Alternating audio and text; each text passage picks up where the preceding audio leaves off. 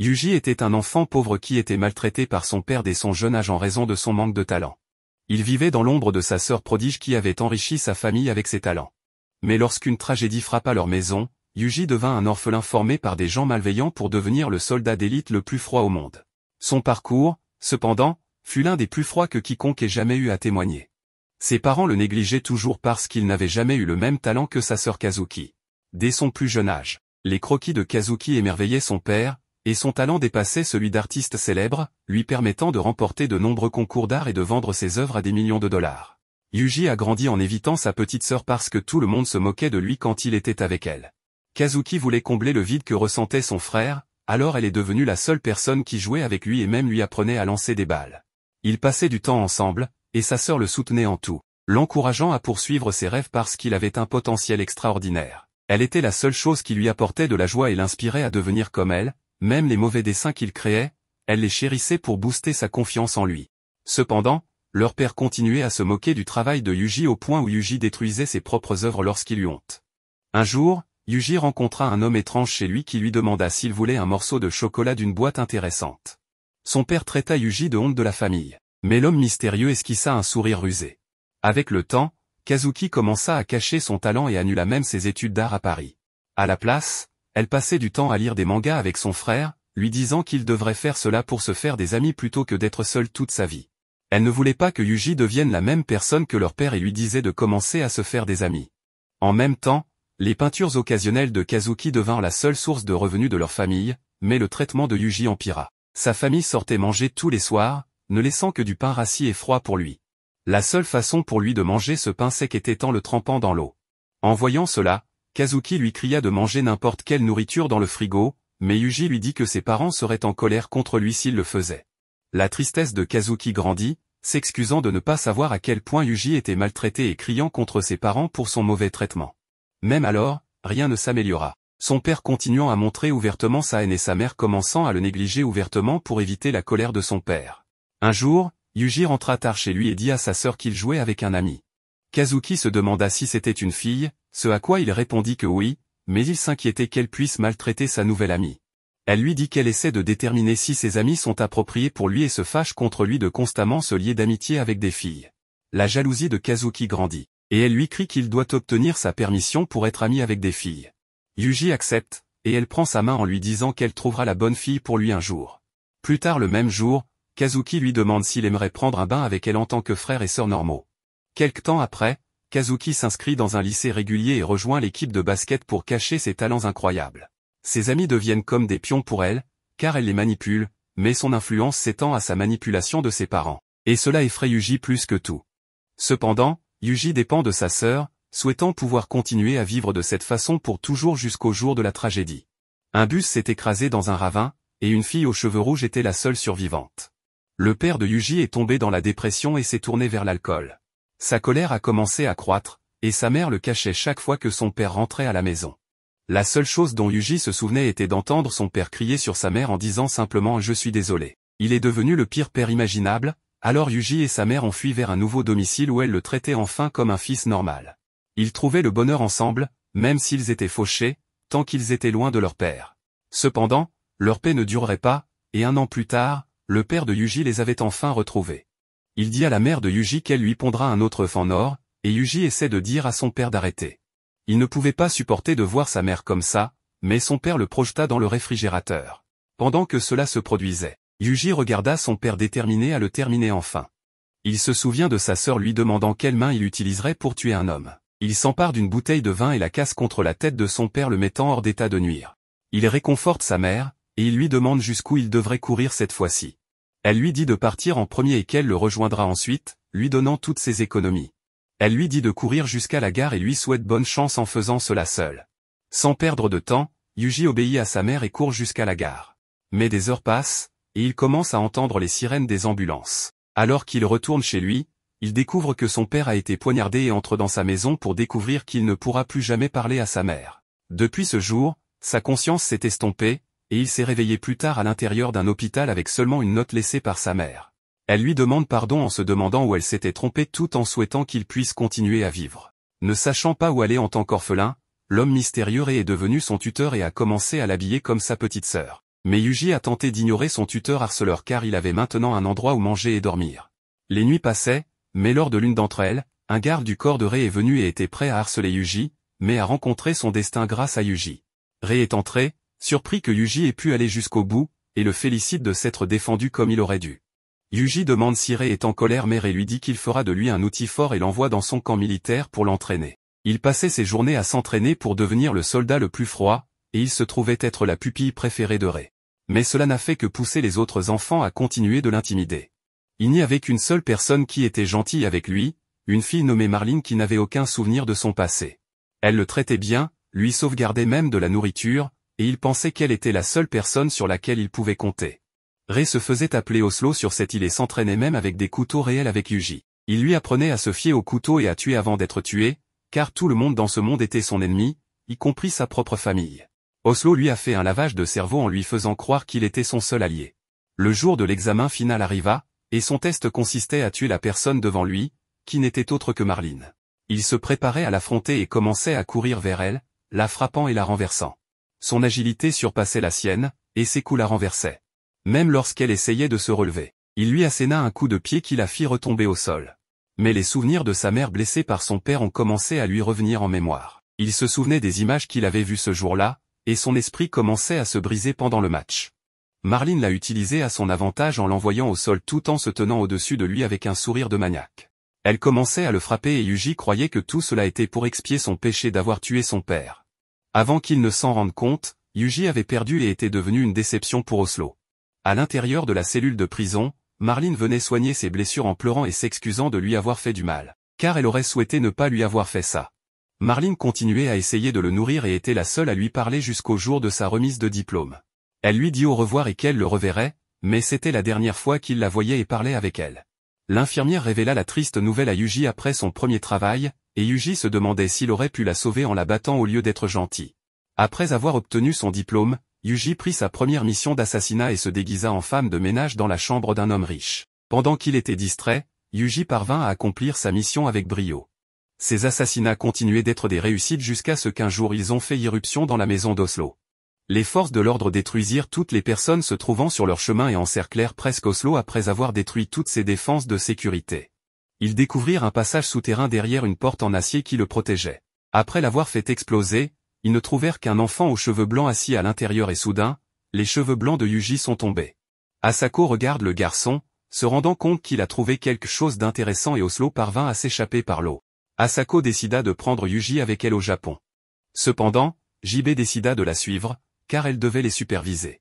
À l'intérieur de l'hôpital, Asako lui ordonna de se lever dans les 40 prochaines secondes, le frappa à la tête et continua de le menacer alors JB lui cria de traiter le garçon plus gentiment, mais Yuji n'avait jamais fait l'expérience de la gentillesse et ne saurait pas comment répondre. Alors Asako le traitait comme un déchet et lui disait d'arrêter ça. Elle lui attrapa le visage en disant qu'elle allait être son dieu à partir de maintenant. À l'intérieur de sa maison, elle lui ordonne de changer ses vêtements sales, mais ce qu'il voit les choque à la place. Son corps est rempli de cicatrices et de blessures par balles, et il n'a pas mangé depuis des semaines. Asako dit à JB de leur apporter des boissons et de la nourriture. Mais une fois à table, Yuji ne mange pas. Au lieu de cela, lorsqu'une mouche passe, il l'écrase de sa main. Alors qu'il fixe la mouche, son esprit se fige, et il crie de peur en vomissant. Asako vient le réconforter en lui disant de ne pas vomir dans sa maison dégoûtante. Il dort la nuit, et Asako réalise que son esprit est plus brisé qu'elle ne le pensait, car pendant qu'elle le baignait, elle a vu deux blessures par balle, d'innombrables entailles de couteaux et des os cassés. Asako pense qu'il aurait peut-être été plus facile pour lui de simplement ne plus être en vie, mais elle jure de le protéger en tant que son dieu. Le lendemain matin, Asako est assise sur Yuji, essayant de le forcer à manger. Mais Yuji supplie JB de le sauver. Asako lui dit d'arrêter de parler à la blonde idiote, car elle est tellement seule et stupide qu'elle écoutera n'importe quoi. JB dit à Yuji de se renforcer, mais il lui dit qu'elle n'a aucune idée de ce qu'Asako a préparé pour lui dans la cuisine. JB regarde attentivement la nourriture et réalise qu'elle tient le kiki d'un cerf. Elle court plus vite que Flash jusqu'à la salle de bain et passe le reste de l'après-midi à cuisiner pour Yuji. Asako pense qu'il sera toujours têtu, mais lorsque JB lui met son riz blond mouillé sous le nez, il décide de le manger. Asako donne à Yuji son propre chiot qui sera désormais son partenaire et lui dit d'en prendre bien soin. Yuji décide de l'appeler John Doe, qui est le nom de code pour un cadavre dans l'armée.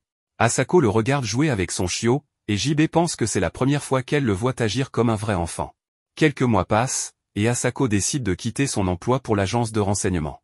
JB la met en garde en lui disant qu'elle sera emprisonnée ou exécutée si elle démissionne comme ça, et elle se demande si Yuji est la raison de son changement. Asako révèle qu'elle a peur de mourir parce qu'elle doit s'occuper de Yuji, mais qu'elle commence aussi à perdre la vision de son œil et ne peut plus être une bonne tireuse d'élite. La nuit, elle sort et voit Yuji fixant les étoiles en pleurant.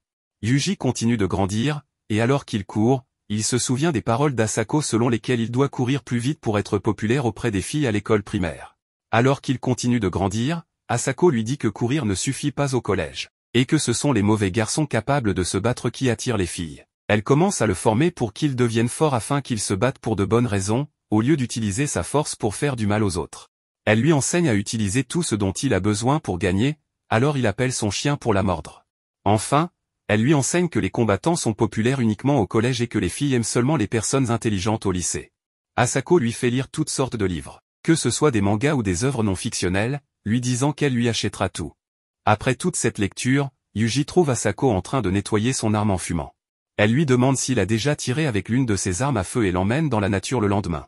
Il tire son premier coup de feu à 300 mètres et le manque complètement. Cependant, déterminé à réussir le prochain tir et Asako lui promet un cadeau s'il réussit. Yuji vise et tire, touchant la cible comme promis.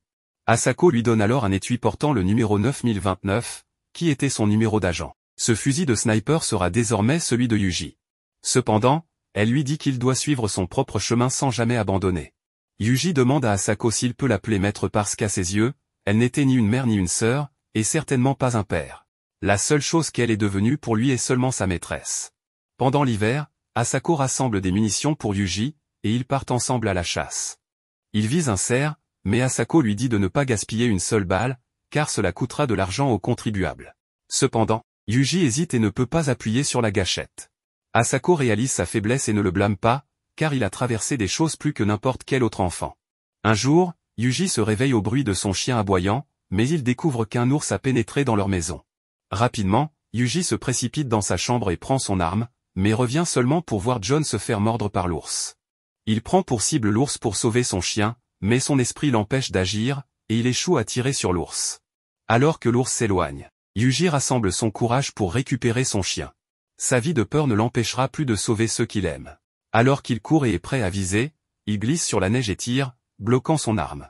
L'ours le remarque et est prêt à le dévorer vivant, mais Yuji utilise son couteau pour trancher l'ours.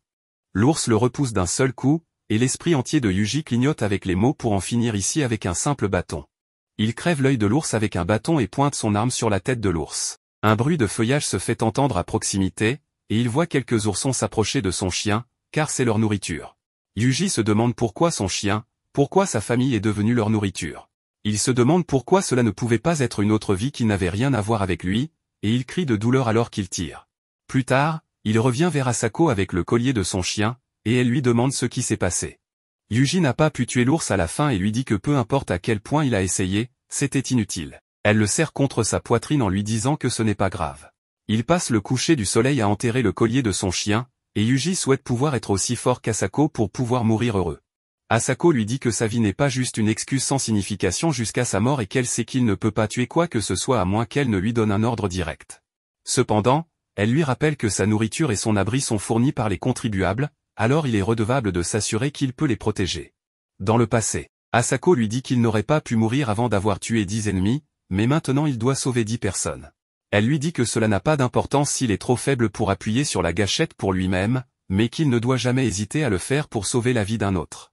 Après quelques années, Asako révèle à JB que Yuji a complété le développement de l'intrigue. JB se demande de quel genre d'histoire elle parle, et Asako lui dit quelle était l'histoire. Elle lui raconte que Yuji a pu vivre la montée de l'action quand il lui a retiré son armure narrative et a atteint l'apogée sur son visage avant de vivre la conclusion de l'intrigue. JB lui crie de ne jamais faire quelque chose qu'elle aurait dû éviter, mais Asako lui dit que c'est pourquoi son intrigue ne se développera jamais, car ils sont un homme et une femme qui vivent ensemble depuis deux ans. Yuji se souvient d'être sous la douche avec Asako et elle lui demandant quand était son anniversaire. Yuji lui dit que c'est aujourd'hui son anniversaire. Alors elle lui demande ce qu'il voudrait comme cadeau. Yuji lui dit qu'il veut un meilleur gardien. Elle le mord et il rougit, alors elle lui dit qu'elle lui offrira le meilleur cadeau de tous. Il lui demande ce que c'est, et elle dit quel sera le cadeau. C'est ainsi que s'est passé sa première fois, et JB demande s'ils ne l'ont fait qu'une seule fois. Asako dit qu'ils ont complété le développement de l'intrigue chaque jour depuis. Yuji revient avec les ramens, et JB fait semblant de ne pas parler de quoi que ce soit, de peur que Yuji les ait entendus. Asako lui dit que c'est pourquoi elle n'a jamais connu l'extase. Elle lui demande d'essayer parce qu'elle l'a bien entraîné, et lui dit de boire quelques verres entre-temps. Après quelques bouteilles, Asako appelle pour donner à Yuji une mission spéciale maintenant que JB est complètement saoul. Elle veut que Yuji lui fasse passer un bon moment. Il l'entraîne dans la chambre et ne la laisse pas partir. Il l'appelle par son prénom, et au lieu de manger le dîner copieux qu'il préparait, elle se retrouve dévorée par son fusil charnu. Encore quelques années passent, et la santé d'Asako commence à décliner. Yuji remarque que ses mains tremblent chaque fois qu'elle commence à boire et la supplie d'arrêter parce qu'elle est tout ce qu'il lui reste. Peu importe le nombre de fois où il lui demande si elle est malade, elle lui mentirait en lui disant que non, mais il a remarqué quelque chose qui cloche avec son corps. Elle commence à divaguer de plus en plus, et sa santé commence à la faire manquer le travail. C'est devenu si grave qu'elle ne pouvait même pas répondre au téléphone lorsqu'elle recevait un appel, alors Yuji devait répondre à sa place. De l'autre côté, un agent ordonne à Asako de répondre à la mission en cours et invoque l'article 9, la menaçant d'emprisonnement si elle refuse. En raison de sa santé actuelle, Yuji commence à assumer ses missions. Quelques jours plus tard, JB demande à Asako pourquoi elle ne lui a pas parlé sur place, mais Asako lui avoue qu'elle n'était pas la personne faisant le travail. JB réprimande Asako pour avoir fait faire les travaux à Yuji de la même manière qu'Oslo l'a forcé, mais Yuji insiste sur le fait que c'est sa décision, car il veut un jour rembourser Asako. JB s'inquiète que Yuji soit emporté par le mode de vie d'Asako, mais Yuji insiste sur le fait que c'est la seule façon pour lui de trouver un sens à sa vie. JB crie sur Asako et emmène Yuji dehors, tirant des balles dans son plafond alors qu'elle part. Au-dessus de la rivière, Yuji révèle qu'il a dit à Asako qu'il voulait être exactement comme elle et se demande si JB savait quelle était la réponse d'Asako. JB lui dit qu'Asako ne voudrait probablement pas de lui dans ce monde mais elle est heureuse que Yuji l'admire. JB lui demande une dernière fois s'il veut vraiment emprunter ce chemin, mais il lui dit que c'est la seule façon pour lui de rembourser la dette qu'il a envers eux. Après leur départ, Asako lui dit qu'il part aux États-Unis pour fréquenter une école militaire. Un grand homme noir lui demande pourquoi il est dans cette émission, et Yuji révèle que c'est parce qu'il a mis fin à la vie de ses parents. Cela le surprend, mais Yuji dit qu'il plaisante. Après avoir été certifié, Yuji dit à l'homme qu'il devrait acheter ses propres chaussures s'il ne veut pas attraper le pied d'athlète. Le soldat se demande comment il le sait, et Yuji révèle qu'il est soldat depuis qu'il est enfant, mais l'homme pense qu'il plaisante. Dans la chambre, l'homme l'appelle un garçon asiatique, mais Yuji lui dit qu'il est japonais et se présente en tant que Yuji. L'homme se moque de lui et l'appelle gêne parce qu'il a l'air efféminé, mais Yuji le corrige et lui dit que sa musique folle le rend comme un fou.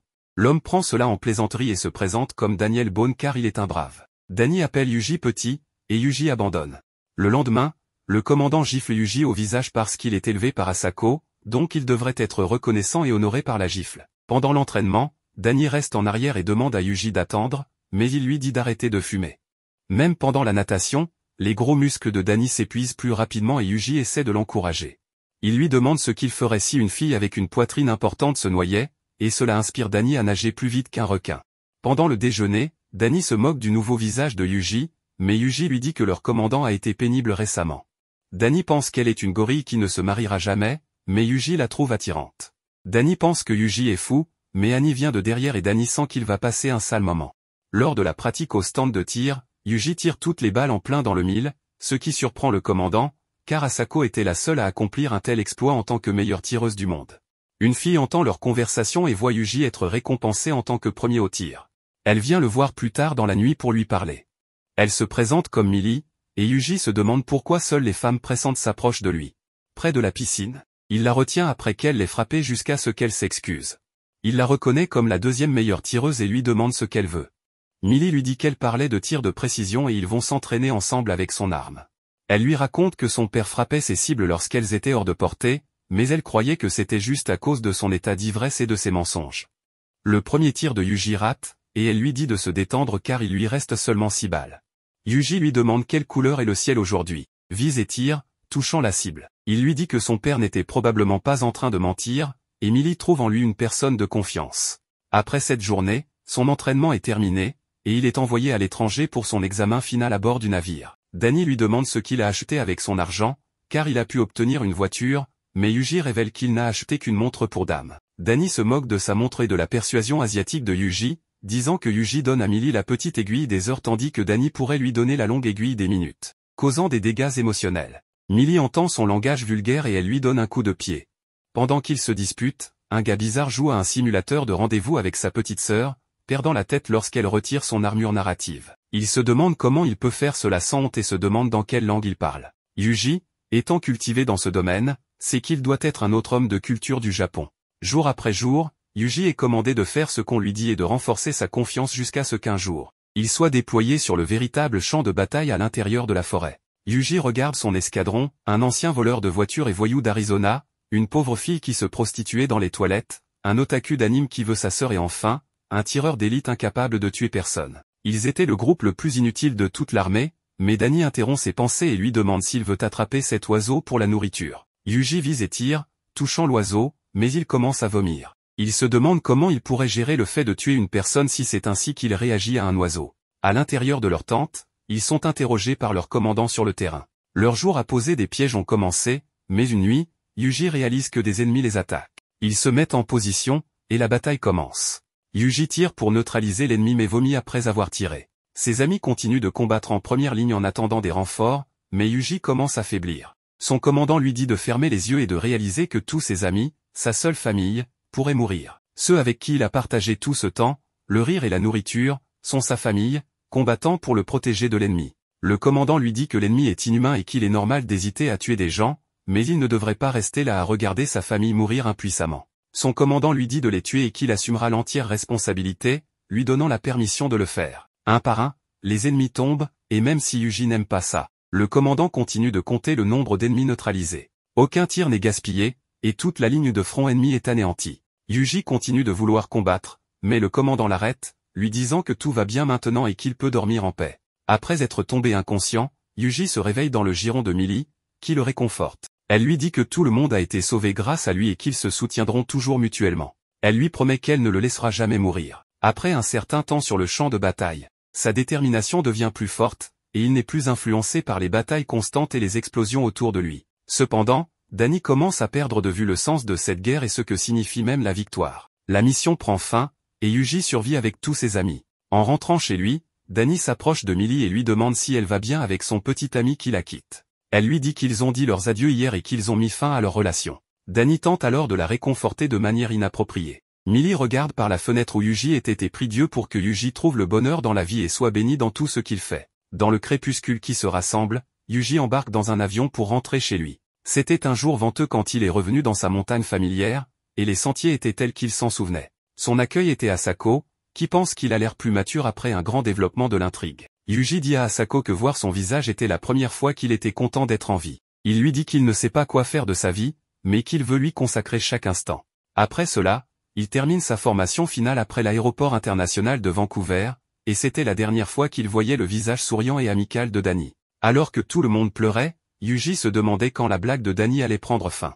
Quelques mois passèrent, et lors d'une mission de Yuji en Espagne, JB l'appela pour rentrer immédiatement car Asako s'était effondré. La seule information qu'il avait reçue était qu'il s'agissait d'une condition chronique résultant de multiples tirs au cours de sa vie. Les médecins ont essayé de la soigner, mais son corps était devenu extrêmement fragile en raison des substances qu'elle avait été forcée de prendre pendant son déploiement. Une fois arrivé, JB dit à Yuji qu'Asako perdait fréquemment conscience et qu'elle sombrait dans des périodes de sommeil de plus en plus longues. Yuji s'excuse d'avoir mis tant de temps pour rentrer à la maison.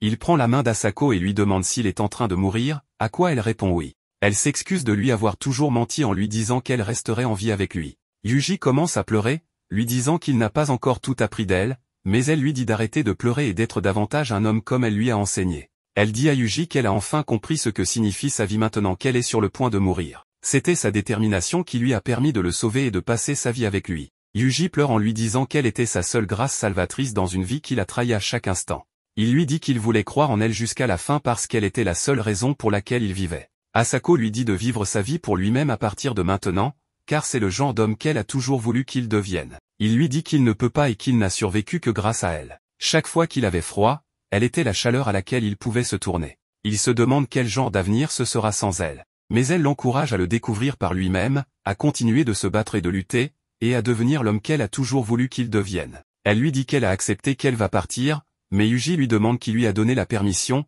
même si c'était Dieu, Yuji veut le combattre pour la garder à ses côtés. Asako lui dit d'arrêter d'être si ridicule. Il passe le reste du temps avec elle, et elle lui dit que les étoiles sont très jolies aujourd'hui. Yuji regarde dehors et lui dit que les étoiles sont vraiment très jolies aujourd'hui. Asako lui rappelle qu'elle se souvient de lui regardant les étoiles et pleurant quand il est venu vivre avec elle pour la première fois. Elle lui demande à quoi il pensait, mais Yuji lui dit qu'il ne peut pas se souvenir. Asako rit en lui disant qu'elle savait quelle serait sa réponse. Elle lui dit qu'elle est fatiguée et lui demande s'il peut dormir. Yuji lui dit qu'elle peut dormir, et après cela, Asako ne s'est plus jamais réveillée. Son corps a été emporté par les subalternes de JB, et Yuji a essayé de se ressaisir. Au moment de la crémation, JB lui fait savoir qu'ils ont trouvé une balle parmi les cendres, et Yuji pense que cela convient vraiment à la personnalité d'Asako. Des semaines passent, et Yuji se demande s'il ira au même endroit qu'Asako quand il rencontrera son destin, mais il ne permettra pas que cela se produise avant d'avoir accompli sa promesse envers Asako de sauver cinq personnes. C'est son seul but restant, mais un jour, il souhaite la revoir. Yuji dort par terre pendant des jours, mais JB vient le gifler pour le réveiller. Rester dans cette cabane où la présence d'Asako persistait remplissait la tête de Yuji de penser qu'il ne devrait pas avoir. Ainsi, JB l'amène dans son appartement pour vivre avec elle. En vivant ensemble, il compenserait les blessures de l'un et soutiendrait l'autre, du moins c'est ce qu'il pensait. Pendant le dîner, JB dit à Yuji qu'il peut demander n'importe quoi, et il lui dit qu'il aimerait une meilleure brosse à dents car celle actuelle est trop douce. Confuse, JB lui demande s'il a utilisé sa brosse à dents tout ce temps, et Yuji lui dit qu'elle a utilisé sa brosse à dents longue et rugueuse pour se brosser la bouche, donc cela ne devrait pas avoir d'importance. JB réalise à quel point elle était idiote et achète deux autres brosses à dents. Yuji s'excuse, mais elle lui dit qu'elle aurait dû s'attendre à ce qu'il soit aussi grossier qu'Asako. Malheureusement, Yuji est devenu quelque chose qui rappelait JB d'Asako, ce qui la dérangeait, et aucun d'entre eux ne savait comment se connecter l'un avec l'autre. Une fois que cela s'est produit, elle resterait éveillée et lui demanderait si être avec elle lui rappellerait Asako. Elle a pleuré une nuit, s'excusant car c'était trop difficile pour elle. Au fil des jours, JB a commencé à rentrer de moins en moins à la maison. Avec tout le temps qui lui restait, Yuji se demandait s'il devait partir en voyage. Il se souvient qu'Asako lui disait que s'il y a un chemin qu'il ne connaît pas, il devrait s'arrêter et essayer de le traverser. Même en faisant de mauvais choix, il devrait élargir sa vision et découvrir ce qui se trouve devant lui. Elle lui avait promis qu'ils iraient en voyage ensemble sur sa moto, mais elle n'a jamais tenu sa promesse. Yuji se lève et dit à JB qu'il part en voyage, ou que le vent le mène, et lui promet qu'il reviendra. Yuji est surpris qu'elle le laisse partir si facilement, car elle sera seule la nuit. Mais il conduit la moto d'Asako. Des jours passent, et il rencontre des gens de tous horizons tout en campant. Il continue à traverser la pluie et envoie même un message à Julia lui disant qu'il l'aime. En plein milieu de la route, sa moto tombe en panne, et il doit la remorquer. Un homme s'approche de lui et lui propose de le conduire quelque part en sécurité, mais Yuji dit qu'il est juste un idiot qui court partout sans savoir où aller.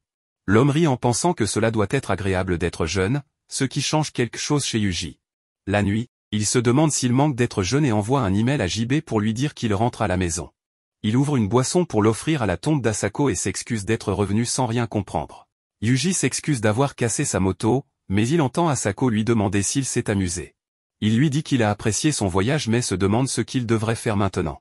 Il a l'impression que ce voyage lui a appris ce qui lui manque et pense qu'il pourrait avoir besoin de revivre sa jeunesse et d'aller à l'école. C'est à ce moment-là que Yuji arrête de raconter son histoire à JB et reçoit une instruction des commandants militaires pour accomplir une mission en vertu de l'article 9. Il lui rappelle que l'échec n'est pas une option et que rejeter cette mission équivaudrait à une trahison.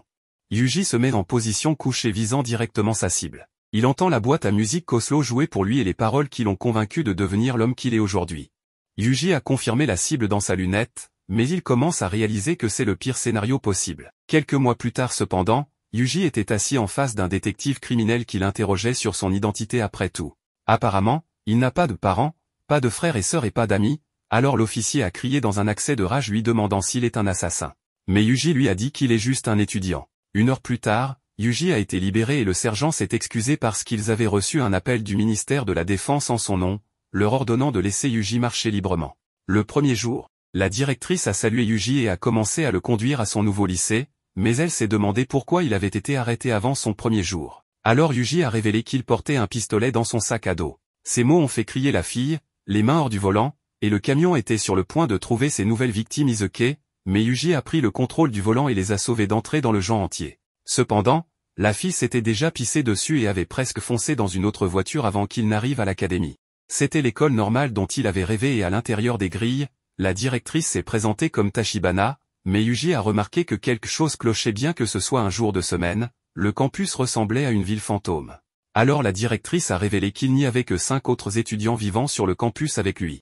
Mais Yuji avait une dernière question et lui a demandé si c'était vraiment une école ordinaire. Alors la directrice lui a dit que c'était vraiment une école normale, mais à cause de ses conditions. C'était la seule installation qui pouvait l'accepter. Quand il est arrivé au dortoir, une bonne est apparue derrière Yuji et s'est présentée comme Kominé, mais il s'est demandé pourquoi elle portait un uniforme de bonne alors qu'elle est étudiant. Elle lui a montré sa chambre et bien qu'il ait pensé qu'elle était bien aménagée, il y avait quelque chose d'anormal. Ce soir-là dans les bains, il s'est demandé si cela allait vraiment être une vie ordinaire. Le matin, Yuji a décidé de connaître un peu la zone. Il a alors bu un peu de jus avant de commencer sa course de plus de 40 km. Bien qu'il soit dans un endroit différent, rien n'avait changé depuis qu'il vivait avec son maître. Il se souvenait de la façon dont elle lui avait appris à être un coureur rapide pour avoir les filles quand il était jeune et au collège, il s'agissait de vaincre les autres dans les combats, mais après ça, il s'agissait de son intelligence. Il a continué à se souvenir qu'elle était la seule personne qui avait été un espoir dans sa vie, mais à cause de son attitude accablante, il avait réalisé qu'il en avait assez de traiter avec des femmes accablantes depuis. Au moment où il a ouvert la porte pour partir, une fille aux cheveux rouges est tombée devant lui et a exposé son armure d'intrigue tandis qu'une autre tête orange a couru devant lui et a sauté sur le canapé. La fille aux cheveux rouges a sauté sur elle et a commencé à essayer de lui brosser les cheveux et Yuji s'est demandé pourquoi cela ressemblait à une mise en place d'intrigue. Il a essayé de se présenter aux filles, mais la fille aux cheveux rouges a été choquée d'entendre son nom. Cependant, elle a essayé de se présenter à son tour en disant que son nom est Suamane et a fait se présenter Makina aussi, mais elle était trop effrayée pour lui serrer la main au début. En se promenant dans l'école, il a rencontré cette fille nommée Michiru, et à la fin de la journée, il a rencontré une fille appelée Sakaki. Cependant, quand il a essayé de se rapprocher pour se présenter, elle a presque tranché son cou avec un cutter. Il s'attendait à ce qu'elle sorte quelque chose et lui a dit que c'était sympa de devenir ami avec elle. Quand la nuit est arrivée, il a réalisé que tout le monde était à la maison mais comme il n'y avait pas de devoir dans leur école, la seule chose qu'ils pouvaient faire était de jouer avec eux-mêmes aux jeux vidéo, il a décidé d'ignorer ce qu'il faisait et d'entrer dans sa chambre mais a remarqué que quelqu'un s'était introduit dans sa chambre à cause de son piège à ruban adhésif. Il a fait irruption en criant de ne pas bouger mais l'intrigue d'Omni a défié la gravité et a continué à rebondir devant lui. Il s'est demandé pourquoi une efflueuse était dans sa chambre alors que ce n'est pas son anniversaire. Ce n'est pas ridicule à dire, elle a ri de sa réaction brutale. Et quand il est entré pour ouvrir son réfrigérateur, elle lui a demandé comment il continuait à marcher si calmement dans sa chambre. Alors il lui a dit qu'elle était celle qui exhibait ces énormes canons d'intrigue mais qu'il les trouvait incroyables. Quelques minutes plus tard, elle lui a dit qu'il semblait habitué aux femmes alors elle s'est demandé s'il avait une grande sœur à gérer. Yuji a révélé qu'il en avait une jusqu'à ce qu'elle décède. Alors Amane s'est excusé de l'avoir amenée. Cependant, elle voulait lui demander le nom de sa sœur et Yuji lui a dit que c'était Kazuki. Entendre ce nom l'a choqué. Mais elle a finalement fini de se changer et lui a demandé si elle était belle. Mais Yuji lui a dit qu'elle est trop exposée. Elle l'a trouvé froid, mais lui a demandé ce que ces mystérieux conteneurs sur la table étaient. Alors il lui a dit que c'était son dîner. Après avoir entendu à quel point son repas allait être misérable, elle a décidé qu'elle allait lui préparer le dîner en tant que sa nouvelle grande sœur. Après qu'elle soit partie pour lui préparer de la nourriture, Yuji a réalisé que quelque chose n'allait pas parce que sa porte était verrouillée ce matin et comme il n'y avait aucune preuve qu'elle ait été détruite, il s'est demandé si elle avait pu crocheter la serrure. Et il a réalisé qu'elle était la seule chose totalement anormale dans l'école. Elle s'est souvenue du jour où leur bus scolaire était tombé de la falaise et des scènes horrifiantes qu'elle avait vues ce jour-là et elle a dit les mots « Je t'ai trouvé ». Yuji a réalisé que ce n'était pas du tout une école normale et que chacune de ses filles avait probablement quelque chose d'anormal qu'elle cachait. Juste à ce moment, il a reçu un appel de JB lui disant qu'une nouvelle mission lui avait été assignée. Alors il a sorti sa valise et a saisi le code en réalisant que ce n'était pas la vie scolaire ordinaire dont il avait rêvé.